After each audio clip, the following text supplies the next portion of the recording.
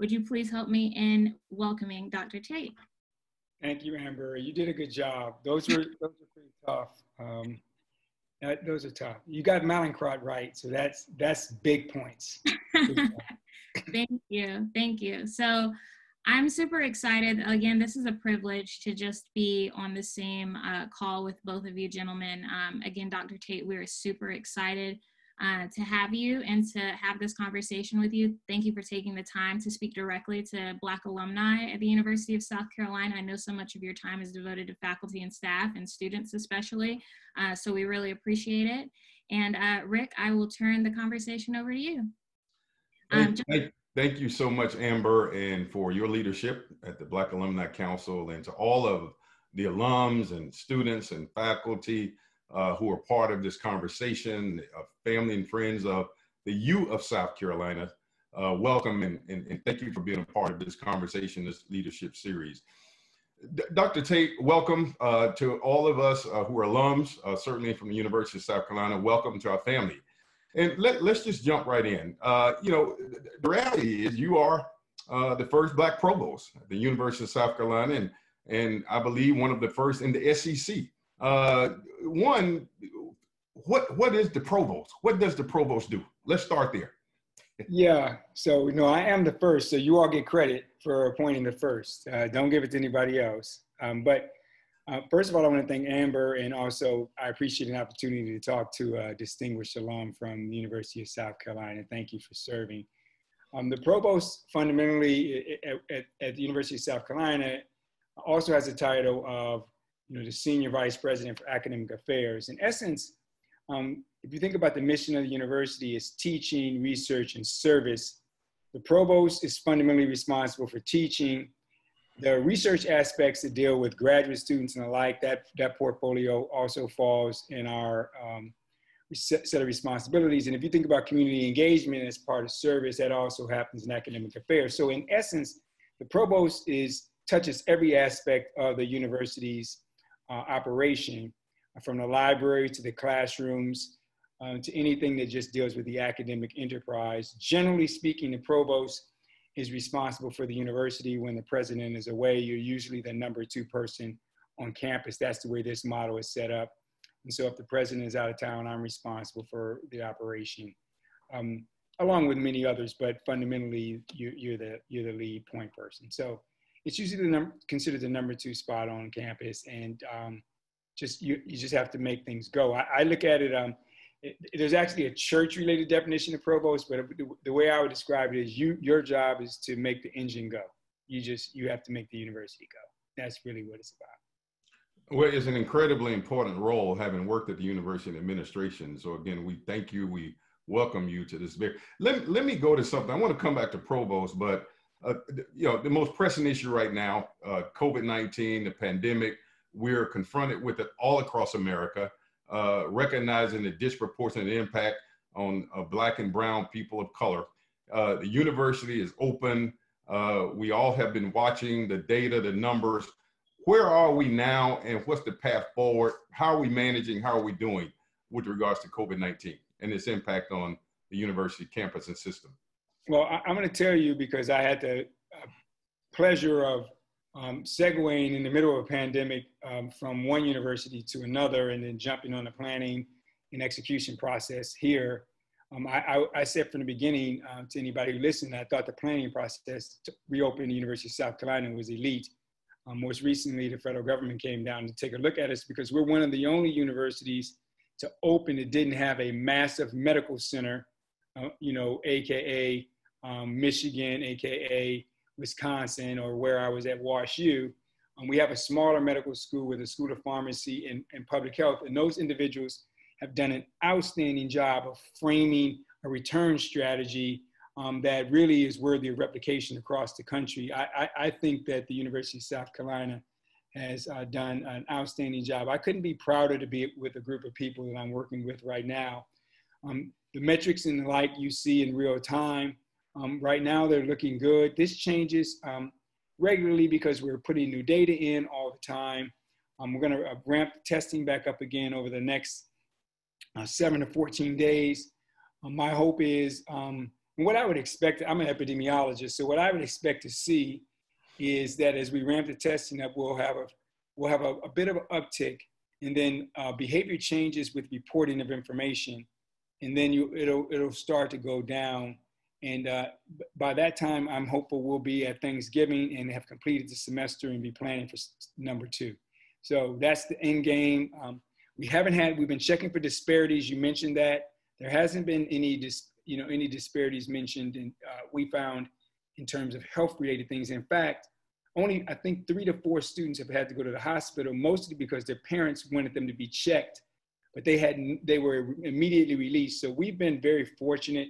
Um, nothing um, has happened uh, that would be you know considered traumatic, and I, I, I take that um, a serious matter because the infrastructure here for student health is outstanding, and it's really been going very well. So you should you should be proud as an alumnus. This this was not an easy feat. And uh, while we're in the midst of it, it's still September. Um, I, can, I can say the heavy lift is going really well right now. And um, we're just going to keep pushing to make see if we can make it to the end. The, the number one thing, and I want to say this, the behavior of the students, you know, I expect 18 to 22 year olds to act a certain way. And, um, but it's been pretty solid. And um, we, we just want to be able to make it so that they don't, you know, they can have a regular college experience as regular can be in a pandemic. That's, that's really what the aim Yes. Well, listen, thank you for that because I imagine you bring some comfort to alums who uh, are obviously concerned and may have uh, children themselves. I know you have two kids, if I were, if I, I believe is correct, who are college yes. uh, students at the moment. So not only do you bring the perspective of your experience in epidemiology, but as a parent. So that gives us a lot of comfort. Yeah, I'm, my daughter sends me a text um, every time she gets a negative test for the COVID. she's our re- resident assistant, so she's really working with students. So she takes them weekly, and she's like, "I'm good, I'm good, I'm okay." You want to hear that? I mean, that's that's what as a parent you want to you want to know they're safe. Right, right. Well, let, us go back to. Uh, thank you for that. Let's go back to to, to provost. Listen, the, the, elephant in the room. Uh, you know, we all watched the process play out. Uh, the search for uh, the University of South Carolina president. I've had the pleasure to get to know President uh, Caslen you were a, a candidate, a contender uh, for the presidency of the university. Uh, you now are in a very significant role as provost. Uh, any insight from that experience? How does it feel now? I mean, you you were in the running, you were in the top tier, uh, and almost made it. Just curious, any thoughts and reflections there? Yeah, I'm an athlete. I don't like to lose, but you know, um, the but but but but seriously, you know, I probably wouldn't be here as provost if I hadn't gone through the process. So I want you to reflect on it a moment. The process starts, you know, we're in the final four people. Um, I get to meet a lot of individuals on this campus through that process. Um, trustee members, student leaders, faculty and staff. And um, I, I left the process when I left Columbia. I didn't think I was ever going to be back. But I left the process with a positive feeling about the people. So I, I really enjoy working with the students that were on those committees. I really enjoy talking to the faculty and the staff here. It was extremely positive uh, engagement. I was very sad. I, you know, my wife had to come down for that as well. And we left sad. We were like, that was, there was really some awesome folks. And we thought, you know, we could be devoting our lives to the institution. And I go back to Washington University and I think, okay, well, I'm gonna, I'm dean here and I've been here 18 years. I love the place and I'm gonna keep working. Lo and behold, I get a phone call, um, you know, about being provost. And, you know, honestly, Rick, I, I told him no. I said, you know, I'm not gonna do that. You've selected a person and I don't want to get in the way of them leading. It's not like a competition, you know, directly where we're on the athletic field competing against each other. I don't, I didn't know any of the candidates. So I had no ill will towards anyone. You know, we they hadn't they hadn't elbowed me or you know hit me upside my head. So my bottom line was I, I, I wanted to be respectful, and so I just said, you know, he should be able to pick his own person.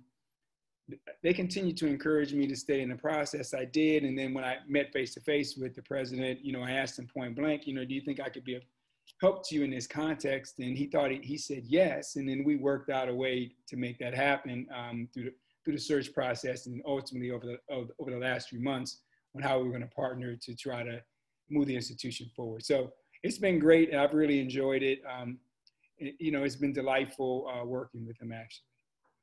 Well, President Caslen uh, uh, refers to you, and I quote, a game changer. Uh, obviously, uh, there are challenges. Uh, there have been challenges at the university, as in uh, most institutions. any unique challenges that that you've already been confronted with, and anything we've learned already?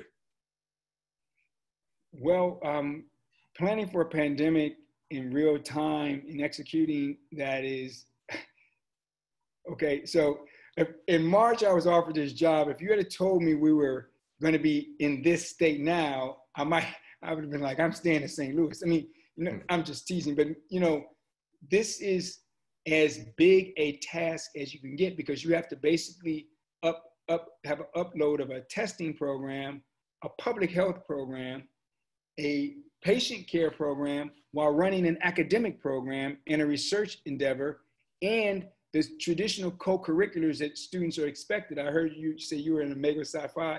So people want to hear about those organizations. They want to be in the fraternity life and sorority life. And, you know, all those things have to keep going. And then, so, and each one needs its own COVID related plan. Mm. Each entity. So you think about anything you experienced in college, every single one of those has to have their own plan in order for them to stay alive.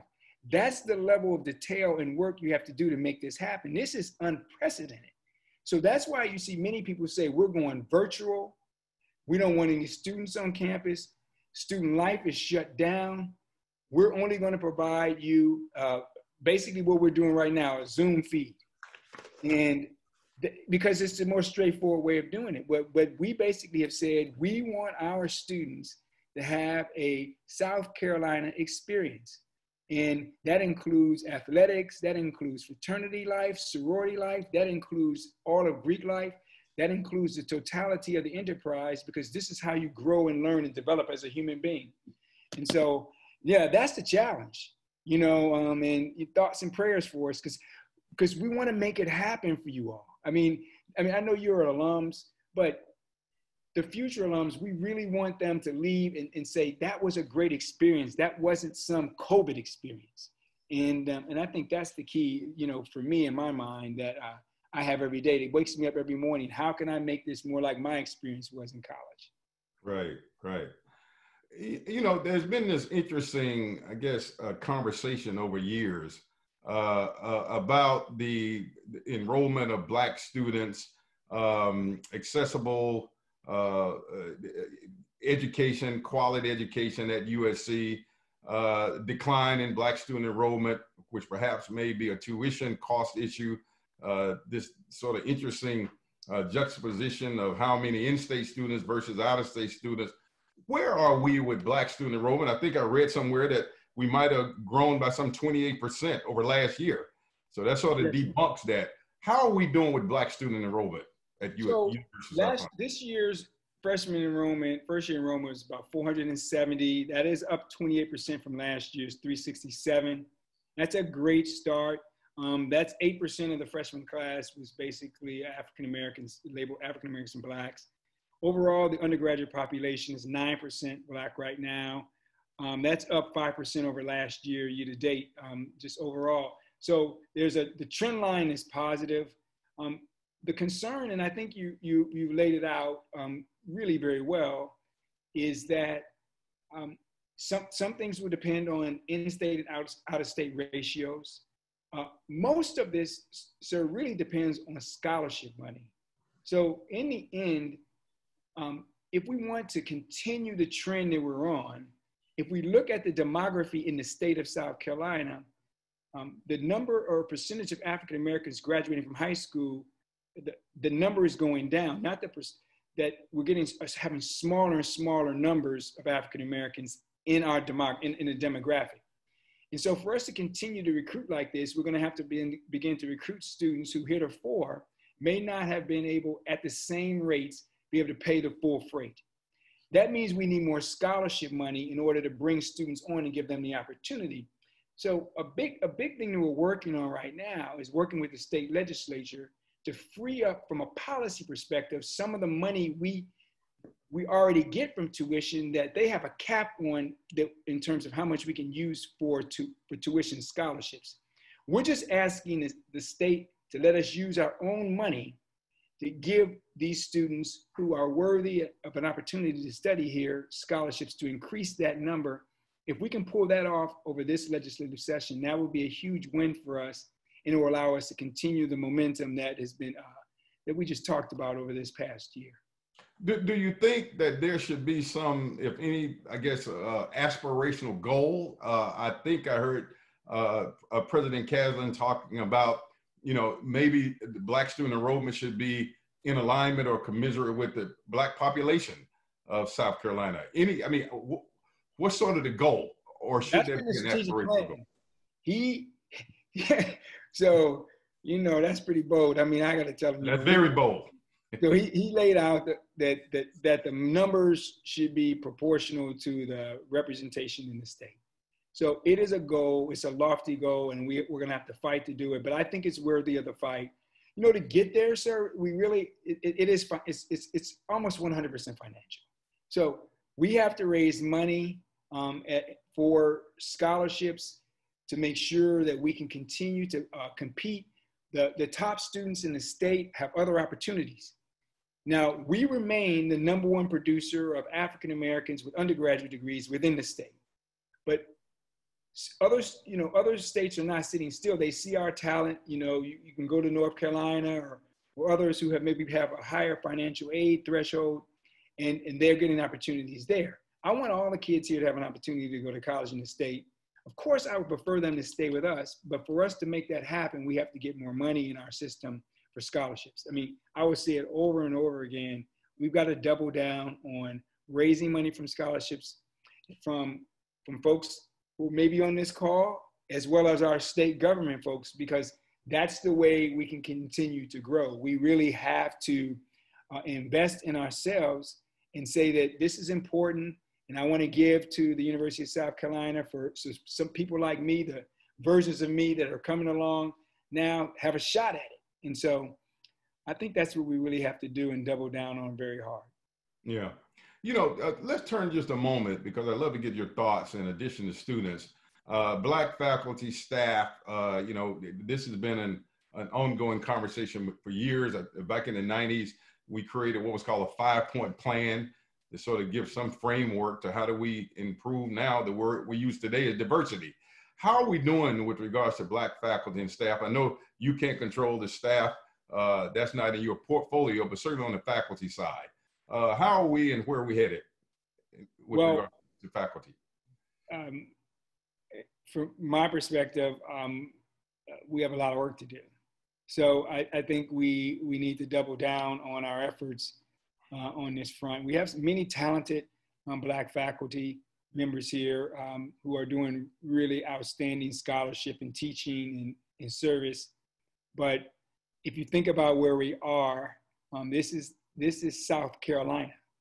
And um, if you think historically, um, you know, we, I see some people in the chat talking about Richard Greener and, and the like, the first African American faculty member here, who was, by the way, I just finished a book about him, uh, outstanding in terms of as being intellectual and setting a model for, for those of us who follow. Um, we need more of that. Um, I think if we say we want to increase the number of African American students, it's imperative that they have um, some examples to see and some people to engage with. And, you know, the example metaphor works for me in part, um, but it's not, you know, and, and I, hope, I hope my Black alumni colleagues don't take this the wrong way. It's not just for you. You know, these white individuals who matriculate here need to see Black faculty as well, who are excellent. And because there are many, many outstanding Black faculty who can contribute intellectually to their development uh, on many fronts, from, from the sciences and engineering and the laboratory environments to the social sciences to the humanities.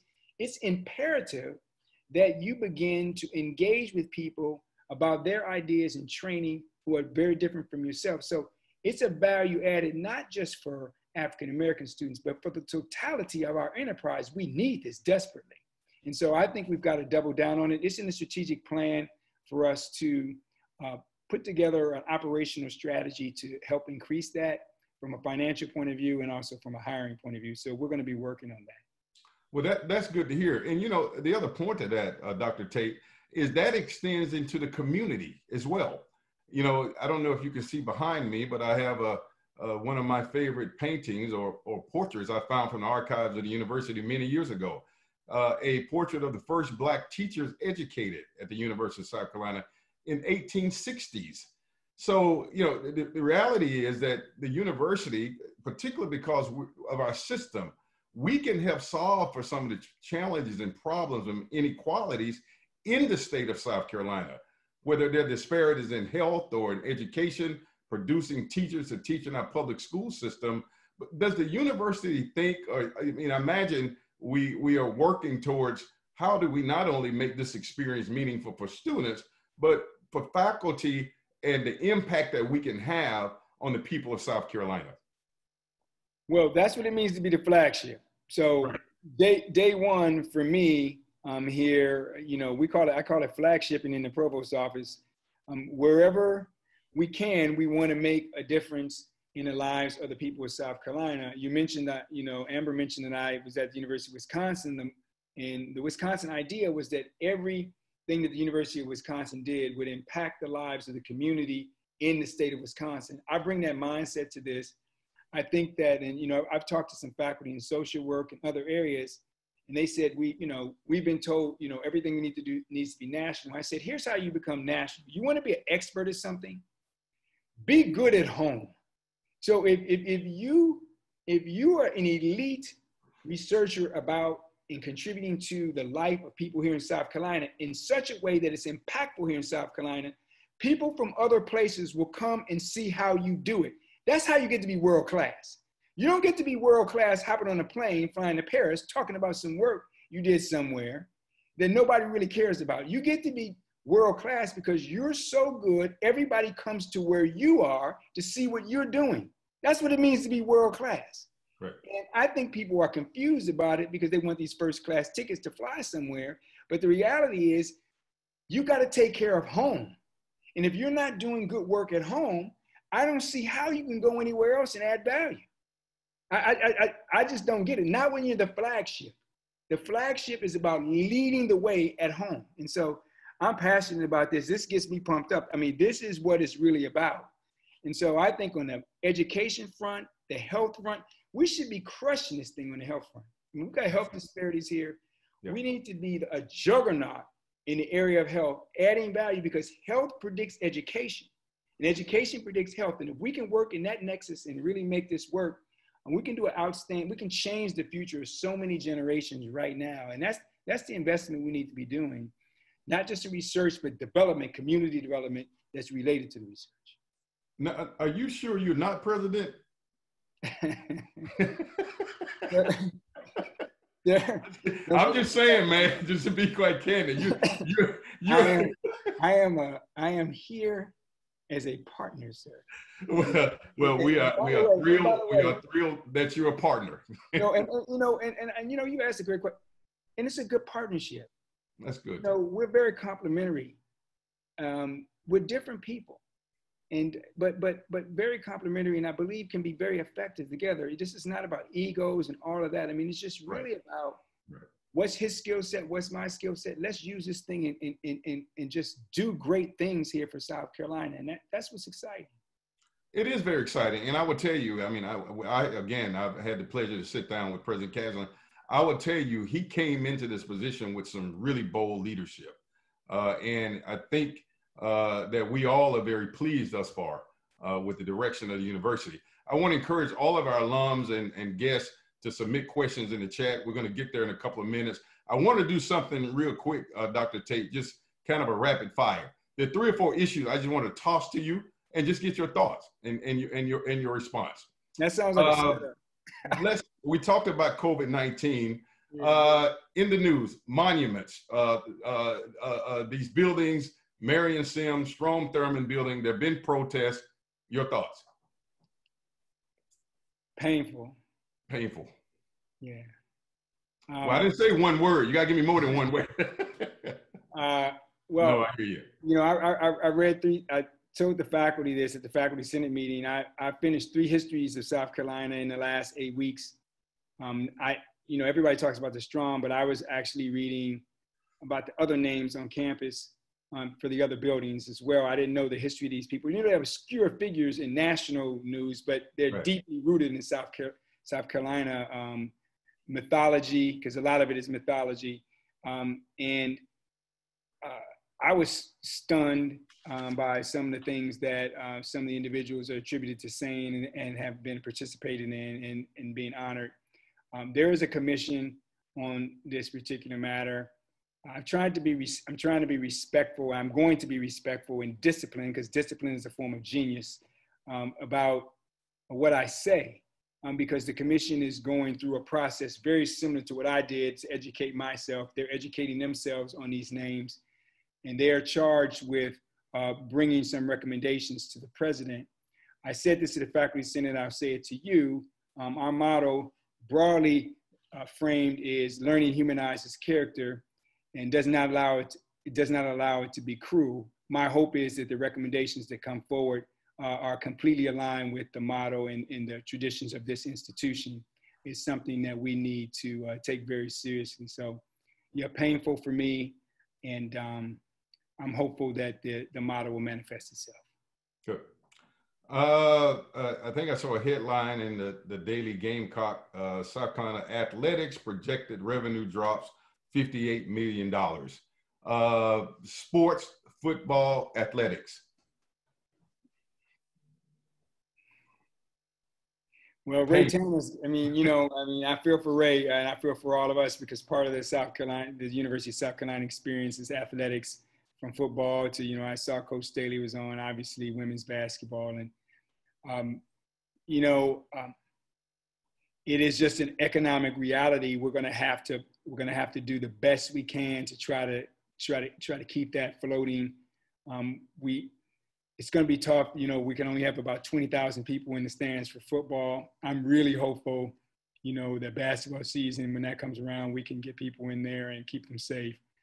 But the general, the revenue from football um, and the economic impact on the region, because you can't bring all the people to Columbia, is going to be pronounced. It's not just going to be that our internal economics is, is thrown off, but regionally, restaurants, hotels, etc., right. are going to be in great pain. And this is where the people, back to our community development conversation, the people who live here, who historically have benefited from that economic flow, are are going to find themselves, um, you know, in a bit of a pinch during the middle of a pandemic where it's already been difficult. So it's a painful time, and we've got to figure out as a state how to stabilize all of this um, and, and, keep people afloat during this very diff- difficult time. Yeah, and you know, tangentially, you know, we're dealing with this from a business perspective across America. We just did a re- piece of research with MetLife, uh, where we found that some 66% of Black businesses are concerned about permanently closing. There's a whole supply chain and ecosystem uh, that's built around these universities and in our community. Two more issues, and Amber, I know we want to take some questions. Uh, national, state, and local elections. Vote. Number one, vote, vote, vote. Vote twice. I'm from Chicago. No, not twice. not twice, Dr. Tate. Just once. I'm sorry, I didn't see it. but you can vote in each election. Vote in your local election three times. Vote. You know, you can vote three times. I know that's what you meant. Vote in the local race. Vote in the state race. Vote in the national race. Yeah, I mean, you know, and I, and I say this now seriously. I'm an educator. I, I encourage um, everyone to you know educate yourself on you know what the candidates stand for and the like, and then and, and then participate in voting, and also um, be very attentive to um, some of the things that might manifest themselves that would cause uh, voter nullification and um, other strategies that might minimize um, people's representation in a democracy. You know, so I really want to encourage those who have the time to volunteer to make sure these things are executed in a fair fashion across the spectrum, and um, and really just educate yourself. Um, we have it's, it's, it's a it's a it's a very big election, you know, because not only I think people can understand better now um, what elect, elected officials do because we had to manage a pandemic. A lot of times you just say, oh, they're not doing anything, but now I think you you can really get a real sense of how important each level of government is. You know, here in the city, you know, where uh, we have an alum who's running the city.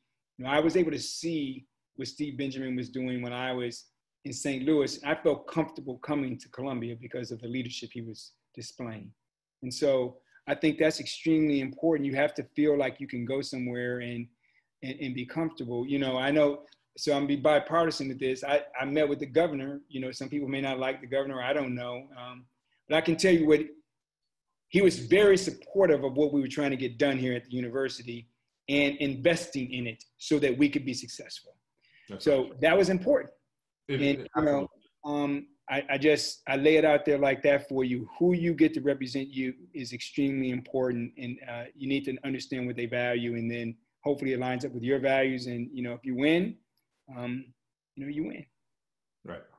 One final rapid round, and then Amber will come to some questions and questions and answers.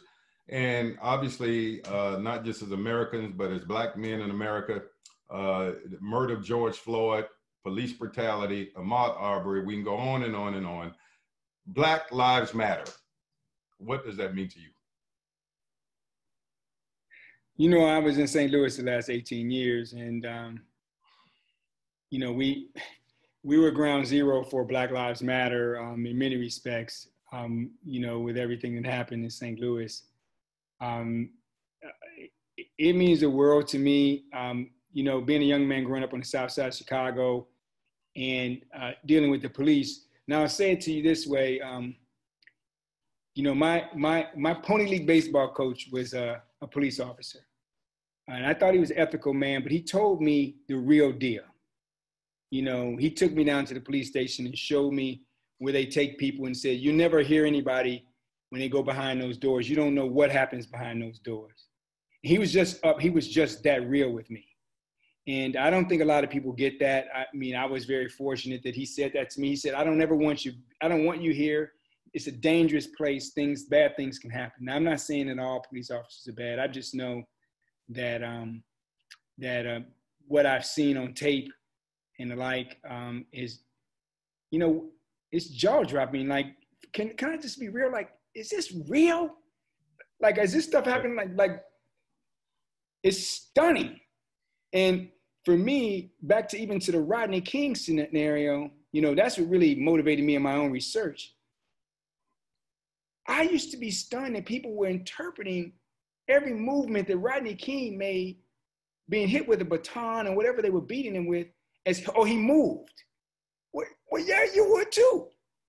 You know, it, it, right. it's like no humans involved was the call out in LA you know, when they would call for blacks. And, and it's just this mindset, unfortunately, that, that, that blacks are not human. And I'm just gonna keep it real here. This mindset is a legitimate construct in the psychological literature. You know, I don't wanna get too deep on you all today, but you know, the neuroscientists have documented how difficult it is for people outside of certain racial groups to view other people as human or even right. to see their pain. So it's not, you know, and a lot of people want to go in the blame game. It's I'm not blaming anyone. I'm saying we're, we're hardwired in part to protect in groups and to ignore out groups. And you have to be socialized and it has to be worked through for you to actually have empathy for other people. And, and, and so I hear people saying things and I'm like, you, you're really, you, you for real hardwired. so, so, so I, I'm I'm pained by it. I am, um, you know, I spent my whole career writing about opportunities for blacks in education and public health. So this is a both. This comes at the nexus of education and public health for me. And clearly, lives are being being lost, and clearly, we need to be educating people in ways so that that stops.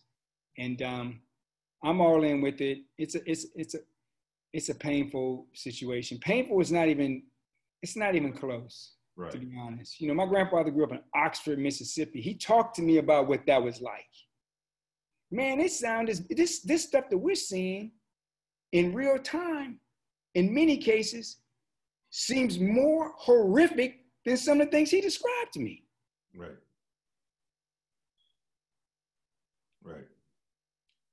Well, listen, you, you're right. I mean, I mean that that's another conversation which I would love to have with you any day.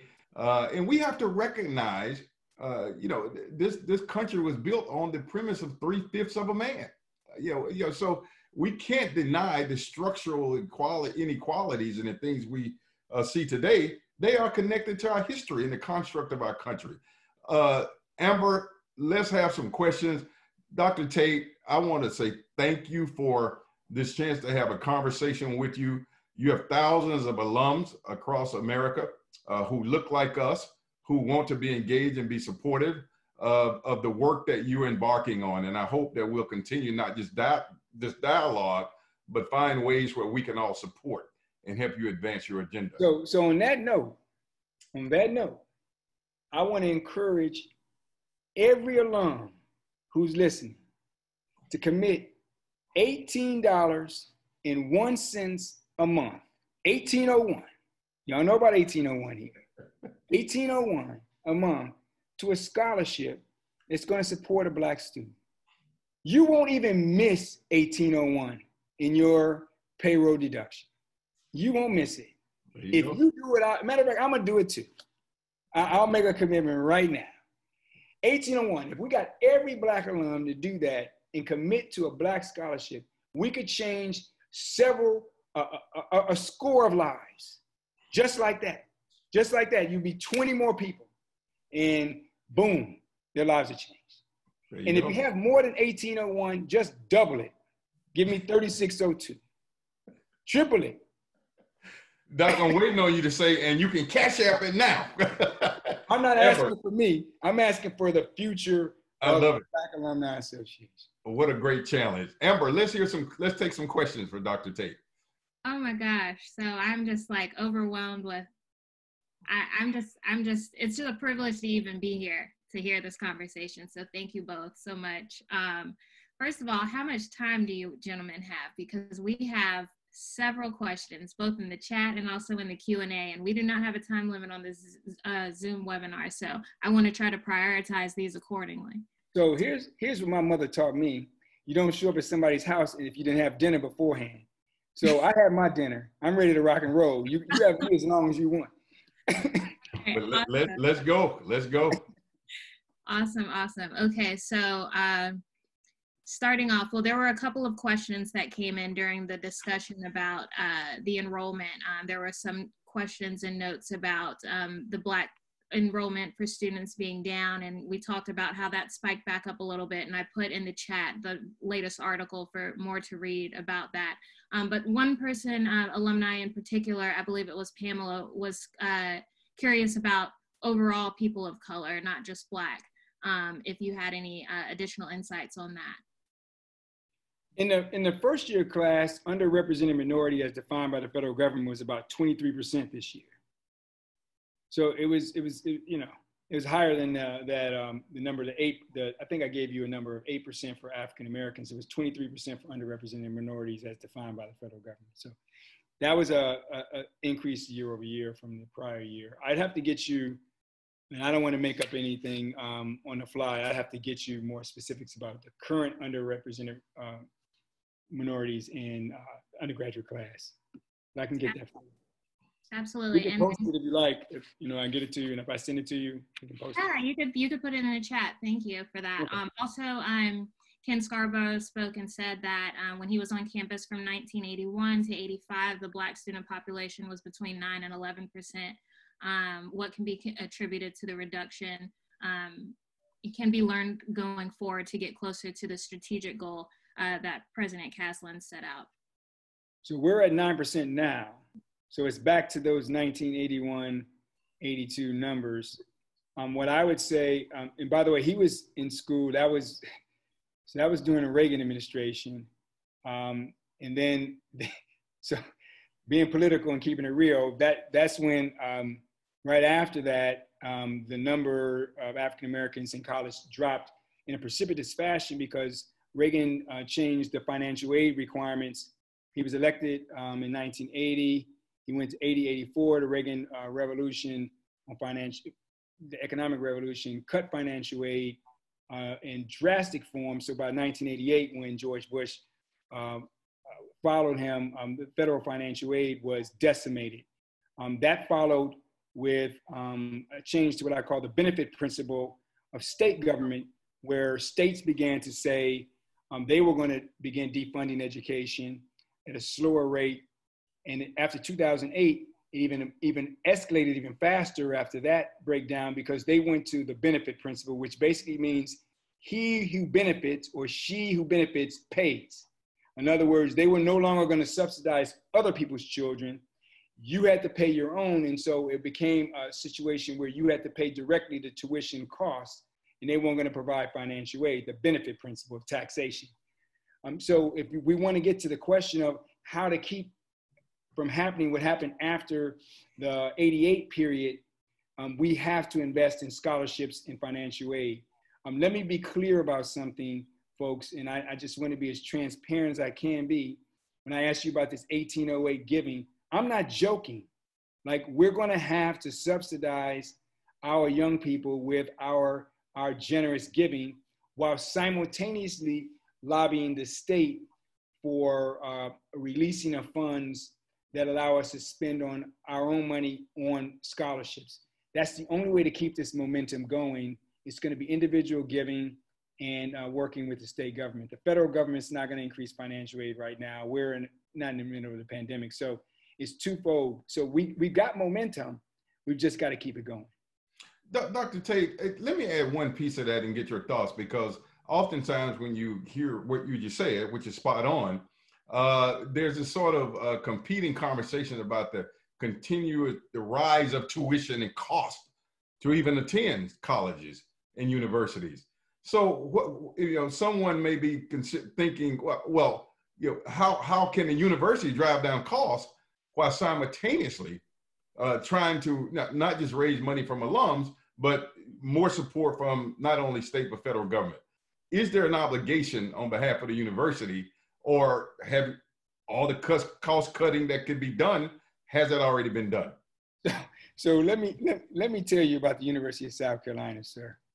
Um, from an efficiency point of view and a investment in terms of you know really cutting administrative costs i've never seen anything like this before in my life we're at bare bones um, it actually concerns me because i'm worried about deferred maintenance and many many other things that we simply don't have the money to take care of a beautiful physical plant and um, so we're at a very narrow cost parameter. We just presented to the trustees an analysis of where we are relative to other major research universities. We're at the very bottom in terms of how much how much we expend on administrative costs.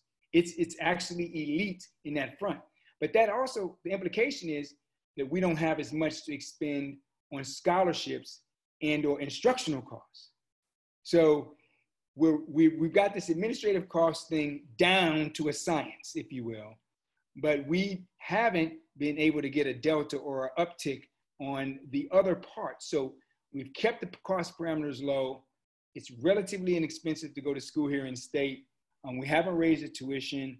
Um, it's, it's, it's really been, um, I think, a very disciplined operation on that front, but it doesn't leave a lot of margin for us to invest in, in scholarships. Got it. Got it. Thank you. Amber? All right, so uh, Timothy asked, uh, well, he said on the subject of COVID 19 and the effects on the minority population as a whole, that's disproportionate in numbers. What efforts is the University of South Carolina taking to address this issue with minority students that are Black and Brown from an ethnicity perspective that may be more adversely affected in regards um, maybe more adversely affected and um, to educate the student body population in this regards. Also, he says, congratulations, Dr. Tate, on being selected our provost. Thank you. So, the, so it's interesting on the disparities related to COVID disease and race and ethnicity. Interesting is not a word you should use in the academy, but but but it's it's partly environmental and partly economic, and less genetic. We don't have genetic verifications yet. Those studies haven't happened. So the question is a good one. One of the things that the university has been talking about doing is to try to do some genetic related research to determine if there's some kind of genetic predisposition related to this particular virus. Specifically in, there's some literature that suggests that people of African descent don't um, eliminate RNA related viruses at the same rate as others. But that's speculative at this point. What we know is that there are underlying health conditions with Blacks um, that cause them to have a significant death rates over and above others. And they also work in places that require them to be in front of a lot of people and in crowds that gives greater exposure. And on a housing front, which is extremely important, the housing tends to be, um, uh, uh, you know, where families are living together in closer quarters and don't have the same places to space out. So these are these are really environmental and built issues that might be race specific and not necessarily genetic. And I think that we need to be careful about that. Um, but we do need to figure out if there's something about this virus that there's some kind of genetic piece to it, but that work hasn't been done yet. Uh, another question related to COVID, are there any plans to go uh, to virtual learning at the university um, because of the, we, we discussed this in the beginning of the, of the call, but um, in regards to the large number of students that have tested positive, I know you said only three ended up being hospitalized, but have, are there any discussions so far about uh, virtual learning instead of remaining on campus? Well, we have people in virtual learning and many of our classes can go virtual on a dime now because they are you know they're bimodal in the terms of how they're organized. Um, we plan every day to be open. However we have a decision based you know we have a matrix that provides information so that we can assess it over time um, but I, I, I want to say this, and I don't want to speak out of turn. You know, you heard uh, Fauci talk about this this past week you know, about 65, maybe 70, 80% of the students on our campus live off campus and they're in leases nine to 12 months. So going virtual does virtually nothing for us because those students aren't going home. They're going to be here. So I don't want to abdicate, and I don't think the president wants to abdicate our responsibility to our students and say to Mayor Benjamin, hey, you take care of them. You know, we're going virtual. They're out in the apartments. They're on you now. We want to be there for our students. And so by staying open, it keeps all of our services flowing. It keeps everything in place for us to actually take care of the young people in our charge. And so I, am hopeful, as I said at the beginning, that um, even if the positive rate goes up, we maintain a quarantine and isolation capacity that allows us to stay open and that the local hospitals, um, their capacity remains very robust in case someone becomes seriously ill that we know we have what we need in order to take care of the young people we're, we're charged with. Got it. All right, uh, we've got about 10 more questions. Um, Stacy is asking, what will the recruiting and admissions processes look like for current high school students? How will we ensure that there will be a strong class entering next fall? Well, you know things change because of the uh, because of the pandemic, and the we're test optional for the fall. So for this next coming class. So what's going to change is that some students didn't get access to taking ACT or SAT, and we're going to have to base our admissions on um, how well they did in high school, their coursework, and recommendations, which we have a modeling framework to ascertain whether they can do the work or not. But the big difference this next year will be that uh, standardized testing won't be a requirement for admissions to the University of, of South Carolina. And um, that should be a very interesting to look and see what happens under those conditions. Uh, Frida McCrae asks, uh, Dr. Tate, are you planning on visiting other campuses such as the School of Medicine and regional campuses? I will for sure be in Greenville because um, that dean, you know, is part of my reporting structure. Um, in terms of visiting other campuses in the system, I will always come if invited. I don't want to overstep my welcome. I am the Columbia provost. I do work with the system in the sense of um, I'm on a committee system wide to you know sort of ma- help manage it. Uh, but but I'm I'm more than willing to visit any campus. I would love to come and see folks and and and see what's happening across the state. I'm interested in the state, so I would imagine over the next year I will have made it to every campus. Dr. Tate, to that point, uh, because for, I'm dating myself, for those of us who might have been at a university in the 80s and before, the structure of the system is vastly different. Uh, and so when you say you don't, so explain to them that what responsibility do you have for those other campuses, whatever we call them now? Because uh, I get the incoming all the time from certain uh, of our system uh, members of the family that there's no diversity, there are issues. Where is that accountability? Uh, how does that work with regards to your role as provost? Well, fundamentally, I'm, I'm responsible for the Columbia campus, which is the flagship. However, um, many academic affairs related activities come through my office. I don't catalyze them or initiate them. I'm, I'm, I'm more or less shepherding them through to, to get to the trustees as sort of the representative for academic, academic affairs. Each one of those campuses has a campus chancellor who is responsible for those operations. And, and of course, President Caslen is responsible for the totality of it all. Um, so I, I, I don't have a say so on who they hire or how they organize their planning. Each one of them has their own system chancellor. Got it. Thank you.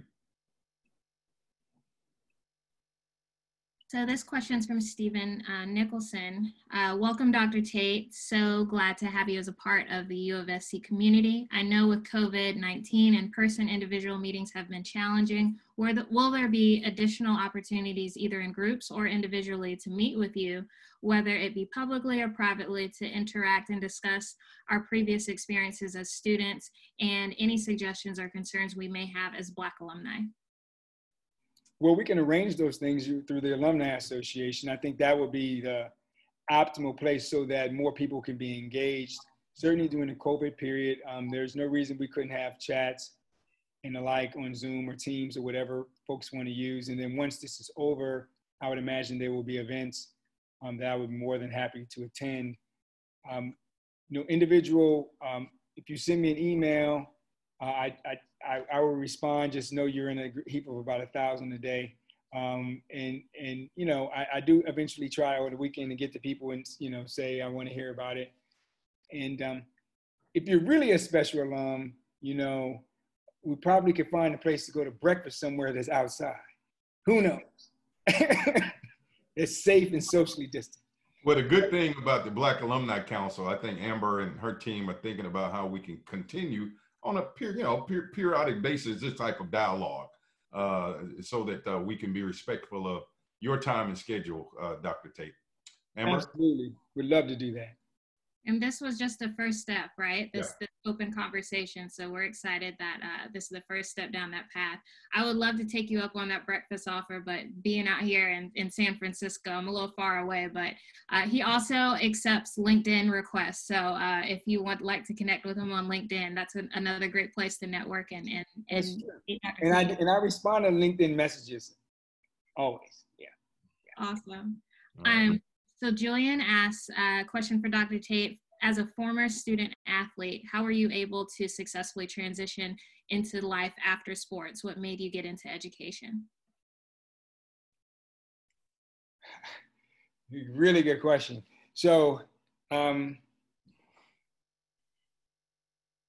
I, I, I, had an experience. I was thinking about this um, actually.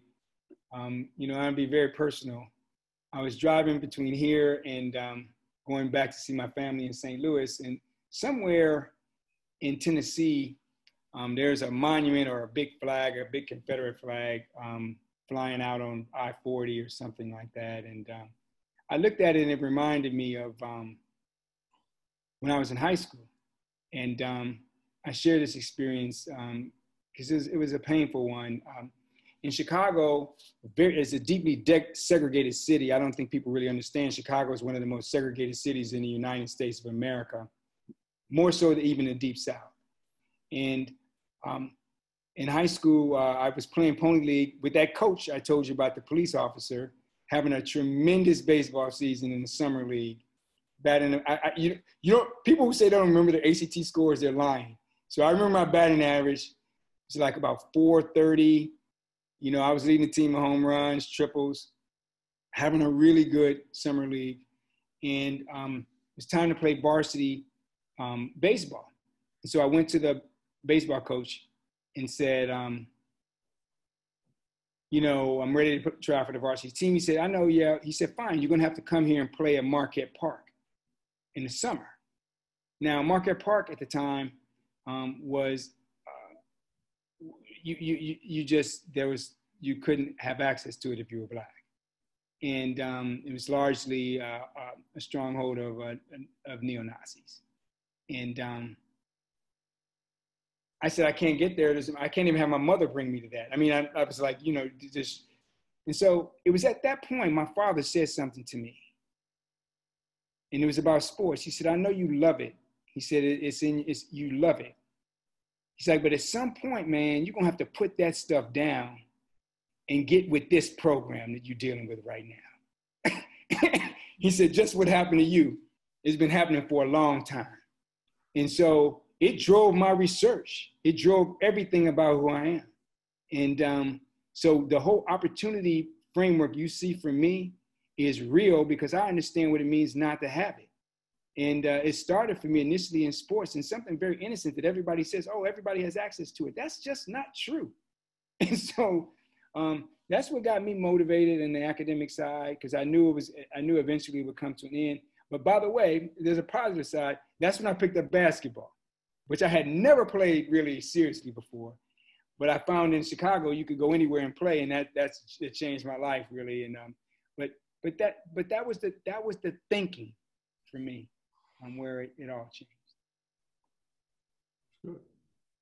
That's awesome. Thank you for sharing that. Um, sort of on that note, Todd asks, uh, he says, I think given South Carolina's role in the enslavement of Black people, Jim Crow, et cetera, that our university has a responsibility to educate people in our current times, both students and the general public, about this history. It seems to me that as we enter discussions about renaming buildings and the media attention that it will draw, this might be an opportunity to move that education um, even beyond the individuals whose names bring the controversy controversy excuse me.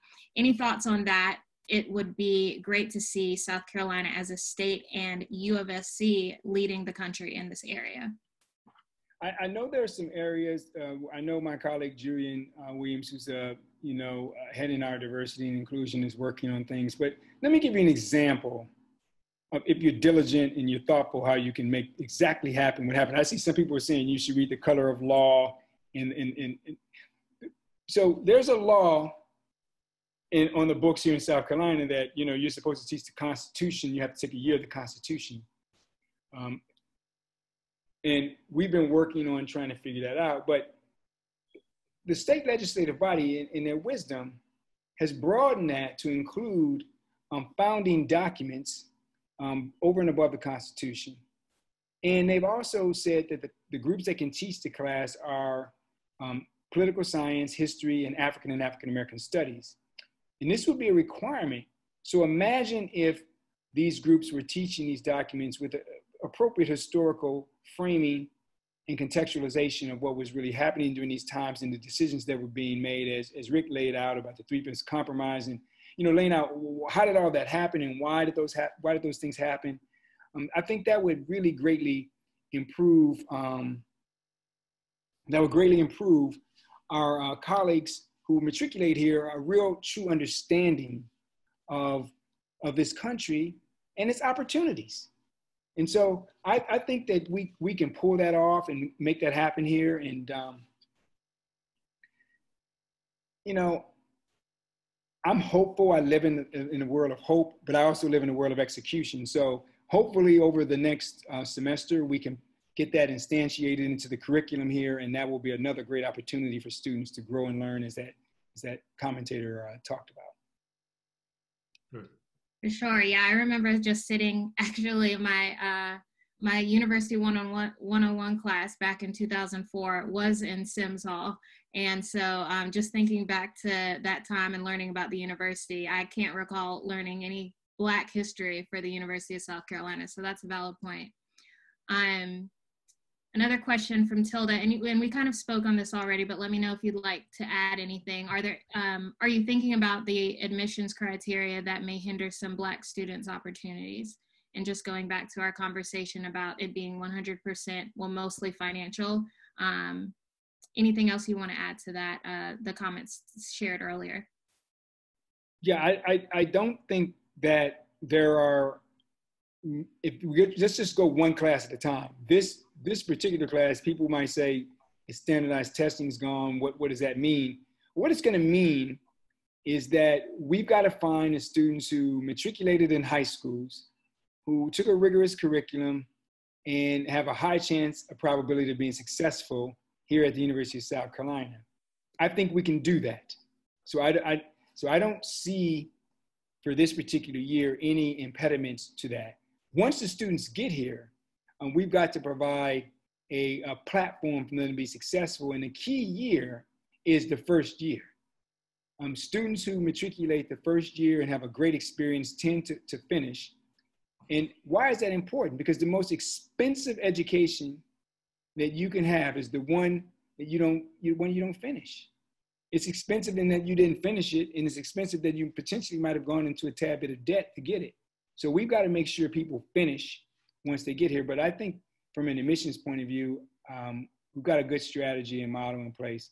I just want to make sure people uh, matriculate and finish. Absolutely. Um, this is a short but heavy question. How do you feel about defunding the police? Pamela asks. Well, I, I don't do research in that particular area. Um, I, I do think that uh, I understand what people are saying. Um, I'm big into reallocation, um, and I think that there are some potentially opportunities in municipal government for reallocation. From the area I studied was St. Louis. Now, I will say this um, about the metropolitan St. Louis area. I don't know South Carolina as well, but a preponderance of the individuals in northern St. Louis that were, which is largely black, those city governments were generating their revenue from tickets and citations at a rate that was 60 or 70%, some of them is as high as 80% from um, the individuals in those communities. So they were using a policing function to fund the municipal government. Now, I will say this with certitude and without hesitation because I've already written two papers on this matter, maybe three, that that is an unethical practice and one in which creates tremendous dis, uh, just tension between the police and the community because the police are charged to generate revenue to run the municipality by giving tickets for lawns, speeding, etc. It's just a nightmare. And uh, I, I know this community very well and have studied it for 18 years. So I can say in certitude in that area that we need to change the arrangement of how we fund municipalities.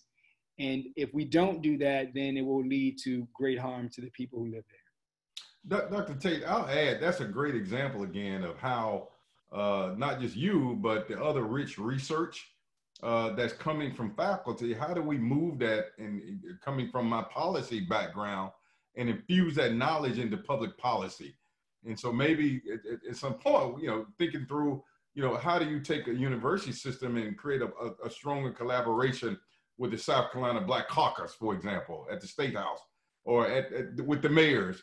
Because there's so much knowledge uh, and research uh, and that could help affect policy. But I'm glad you cited that as an example because there's so many other areas that there could be some collaboration. Well, let me say this, sir, that um, I would be deeply committed to work with you and any others who would like to create such a organ in this state to add value using empirical evidence to inform um, policies, practices, regulatory functions, and the like related to the advancement of um, Black lives, and uh, any other life uh, that thinks that it's at risk. Because fundamentally, um, you know, we we are at a time now where this disconnect between the research, policy, and practice is dangerous, and you know, um, we've got to find a way to bridge this particular gap and um, really, um, uh, really be transparent about the research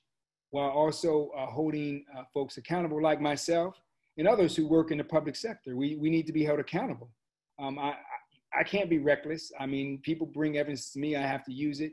And I think all of us who work in these administrative posts who are policy implementers um, need to be held accountable in that regard. And so I, I, am I'm, I'm very open to it. I know that they've tried to do that down at uh, UT Austin, tried to create a bridge or has created a bridge between um, the state uh, legislative body and the University of Texas to, to pipeline uh, data and information. A center that translates research to, to uh, policy and programs and then also feeds back to the researchers where policy and programmatic evaluation information comes to researchers so they can feed it back into the system is something that is desperately needed, and I think we should give it a go. I'm, I'm, I can't tell you how exciting that would be.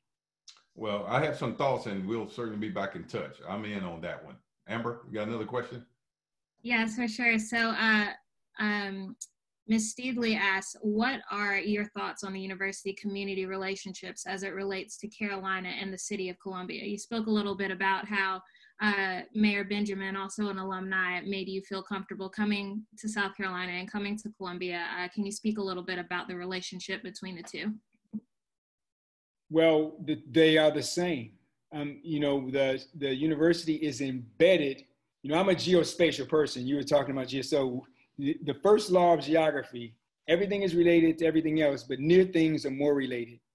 So, every, so the university is embedded in a ecology called a community called Columbia, called Richland County, called state of South Carolina. And these ecologies are rich with tradition and, and with all kinds of folk ways and the like. And it's this elixir that comes together when it's working well is what, add, what adds value to people's lives. Our job as uh, citizens and residents of these communities are to um, help stir that elixir to create the, the optimal scenarios so people can flourish. And um, there really is no other charge. Um, th- that is our fundamental charge. And, you know, I'll be biblical here, you know, the, because all my papers are biblical. The, and, I, and, and for those who say I'm not separate, there's a separation between religion and university. So let me help you all understand something. Every single ology you study, sociology, psychology, anthropology, all ask the same fundamental biblical question Who is my neighbor? Not a single one of them is divorced from that question. The difference is in theology, we answer the question, but we also have an obligation to act. In the other ologies, we just answer the question. There is no obligation to act. What I'm basically saying is that, if, based upon what you're saying, is that if we're going to be in community together and we learn all of these things, why don't we act? I mean, it, it just it just doesn't make sense to to learn what I talked to you about. And as somebody I saw said we shouldn't defund the police department. I want to say I never said that. I said from my research, see, Rick, this is the problem when researchers get involved. I said from my research that the police in the municipalities I study use policing techniques to generate a large majority of the revenue to fund the municipality, thus creating a tension between the police and its citizens. This is something that should stop. Is that clear? Now, how do we stop it? That's Rick, where we could get together with a, a community group and or this research organ and come up with strategies right. so that we can be clear about how we can add value in this way. That, that that's what this should really be about. I mean, we, if we're cooking like that, if like four or five years from now we have that kind of thing going here, we will be elite, global, and everybody will be coming here to see how we're doing. That's powerful. Good. Thank, thank you, Reverend Dr. William Tate. I didn't mean I didn't mean to go theological on you, but you know, but I, I love it, man. I get frustrated when people don't understand that like oh, yeah, every yeah. single question is is who is my neighbor? You That's what is right. sociology about? What is anthropology about? Right. What is psychology about? Come right. on. There we go. Mm. All right, Amber. What, what else? Okay. Yeah. Kimberly says, thank you for your time, Dr. Tate. How um, have you spoken with other provosts, your equal at other college campuses in the state? Is there some sort of uh, cohort or place for uh, collegiate COVID responses?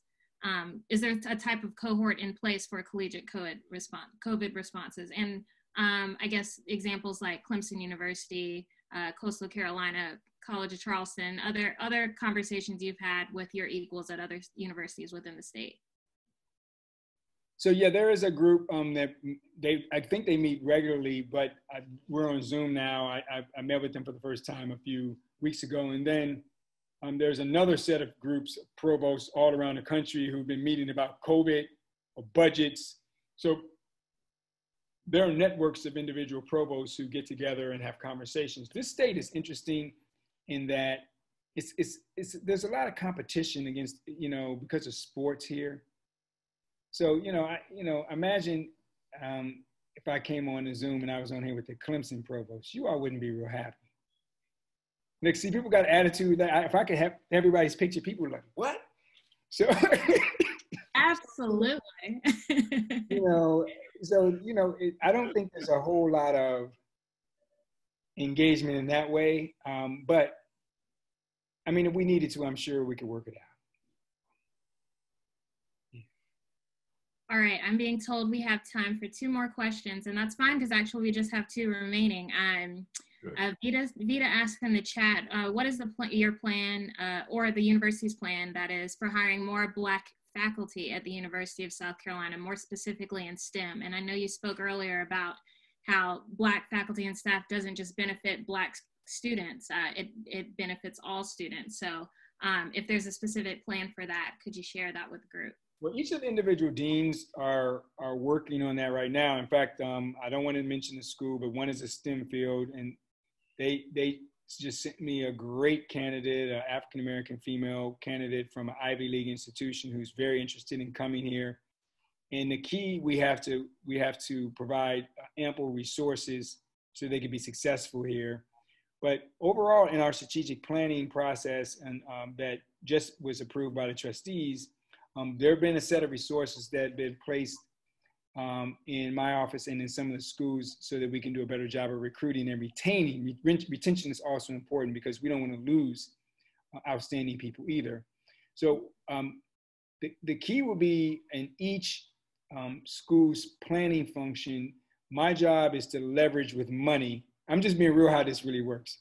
My job is to leverage with money uh, their efforts to hire people and um, they have to take their resources and I add mine, and then we go after uh, you know the individuals who have been identified either through a committee or recommended to us from other folks. But I think we're going to have to do some other things. Um, one of the one of the things I would like to get done is I think we have to do a better job of recruiting PhD students who we then can, can who we can, can convince to stay. So we get them here and then we prepare them and then we ask them to make a commitment to us for X number of years afterwards to launch their careers and they can stay long term or they, they can transition off if they want to go in the free market. But I think that's something we, are going to have to work on. And in fact, um, in the graduate function over the next six months, I'm going to I'm going to make some moves to make that happen. So um, I'm hopeful that we can build our own and, and develop our own here. People who want to be here and are committed to being here. That's excellent. Um, Rick, before I ask the last question, do you have any other thoughts or questions you want to share with Dr. Tate? No, listen, I, my, just a final statement that this has been extremely uh, encouraging. Uh, but listen, Dr. Tate challenged us as well as Black alumni, those of us who uh, uh, have, are stakeholders in university. And I think we should take him seriously about his challenge, the 1801, uh, to give back. And, and, and not only in terms of our finances and investment, but to be a part of this conversation and dialogue and help him uh, advance the agenda that he's working on every day at the university. Uh, Amber, thank you again for convening uh, this great dialogue. And, you know, after dialogue and conversation, it's time for action.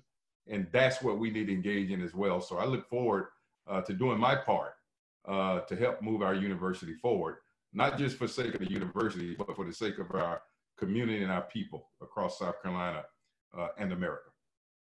Absolutely. And and really that was the last question. How can Black alumni support your efforts, Dr. Tate? And I think uh, the clear answer is it's not just your efforts, it's all of our efforts to, to want to um, bring more Black students in, help retain them, help them graduate. And you spoke a lot about uh, how we can contribute to Richard T. Greener Scholarship. Um, I put the link in the chat and I can do so again.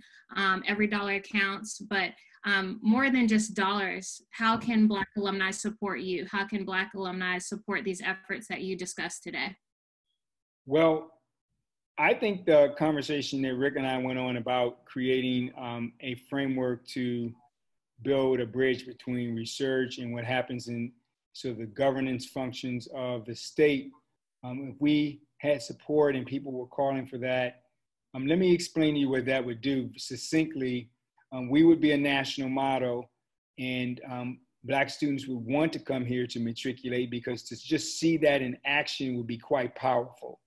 Um, and, and so I, I think that that is an area in which people can support um, just vocally providing encouragement, saying those are the kinds of things can happen. Anything can happen um, in, at the University of South Carolina if people so desire it and we work hard to make it happen. And so I just I just really believe we should give it a go, and and, and I think it would make a huge difference. Um, we're going to come off of the commission report soon. We need to leverage and, and, and really build some strength from that, and and, and I hope we can do that.